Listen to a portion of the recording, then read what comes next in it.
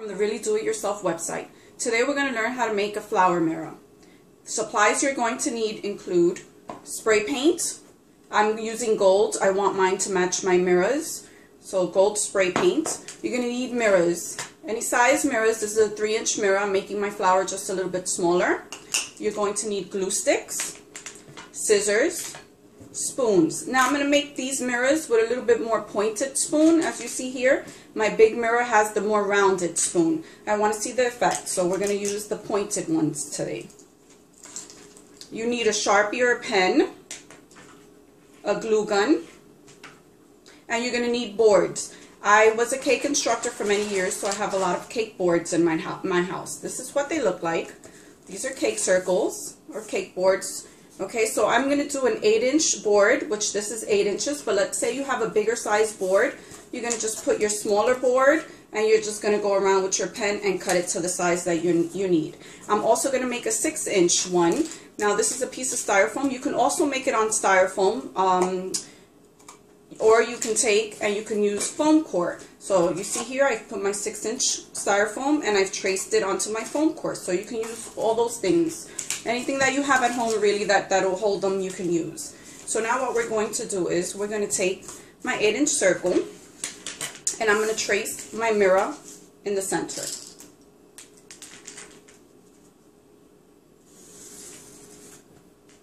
And now this is what this is going to do. It's going to outline to where I'm going to start placing my spoons. So now we have that.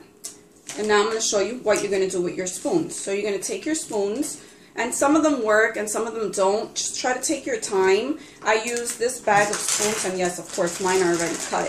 But I use this from the 99 cent store. It's 51 spoons for a dollar, of course. Um, for my big mirror, I used approximately 117, 120 spoons. So it's best to get a couple bags. Um, you're going to take your scissor, you're going to go right here, and you're going to just gently give it a cut with your scissors. See?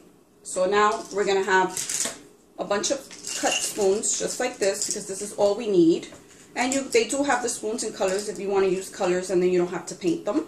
So now what we're going to do is, you see our board here with our circle already. We're going to take our spoons one by one, and I do it differently. I've seen a lot of uh, flower mirrors on Pinterest. I've seen them online. And everyone starts off from the edge for some reason. I like to start from the inside, right where my circle is, and work my, my way out. Just in case, that way you hide any mistakes. It's a little bit easier. But I mean, if you want to try it the other way, be my guest, feel free. Okay, so you're going to take and we're going to put glue right here.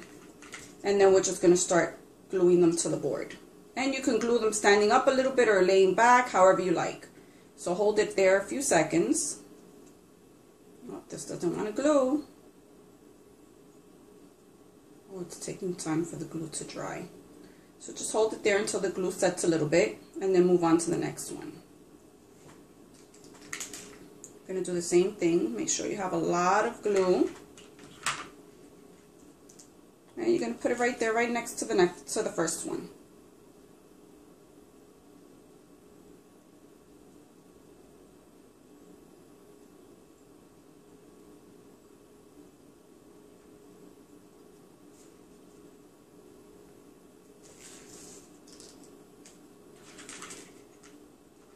And we're just going to continue to do the same.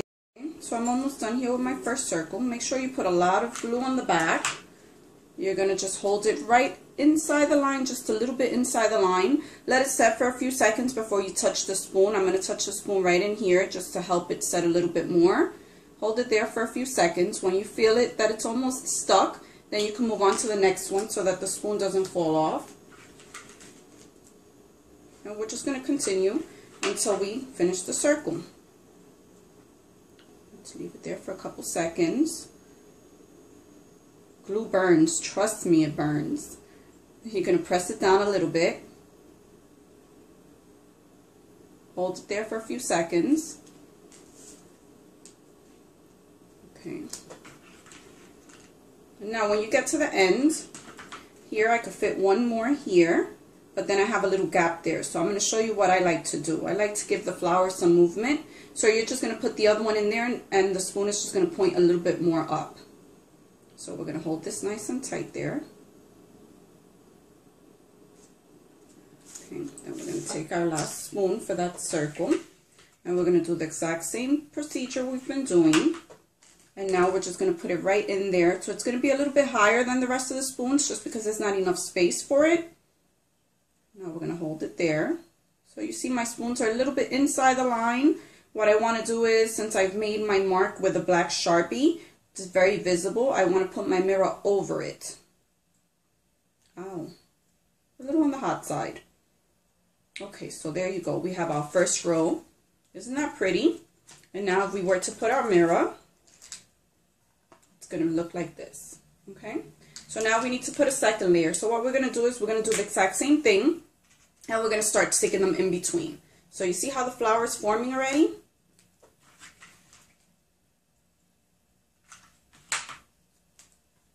And just hold them in place a couple seconds there. So you just want to go in between the petals. And then we're probably going to do three rows on this one. As I mentioned before, it's an 8-inch cake circle. So three rows, and I'll count the spoons later. You can find it on my blog, exactly how many spoons I use for each flower. And again, basically what we're going to do is we're going to continue to fill. I'm just going to do a few so that I can show you the third row. And then after that, we're going to spray paint it. Uh, the spray paint takes a few minutes to dry. It's really, really quick. I was very shocked at how quick it does dry. And that's it. Then we're going to hang it on the wall. And no one's ever going to guess that you made this from plastic spoons. I was amazed myself at how beautiful it looks with the gold paint. So just imagine how it would look in silver. So if you guys try it, please send me a picture. I would love to see what it looks like when it's done in different colors. Okay, so now I put a few here on the second row. So I'm just going to show you what the third row is going to look like. And I'm going to finish mine and then I'll show you the final product. So right here, I put the second row. Make sure you take off these little strands before you paint. The little dried glue strands.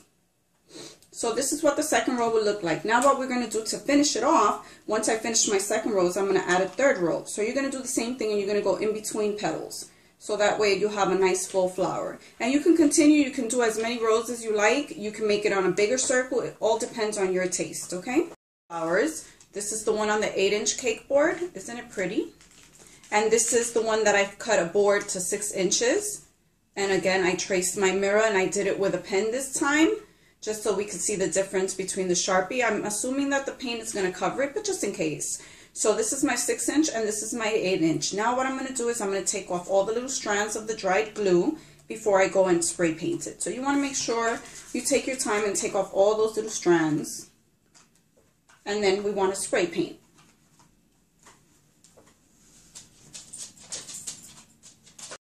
So now as you see here, what I've done is I've taken a recycle bag and lined my bathtub with it. Yes, I know you see my fish in the background. Aren't they adorable? My whole bathroom is fish themed. It's, you know, you feel like you're in the sea. But uh, enough about that. Now what we're going to do is we're going to take our spray can and we're going to spray. So you see here, this is what I'm doing. And you're going to make sure that you cover all the entire spoon.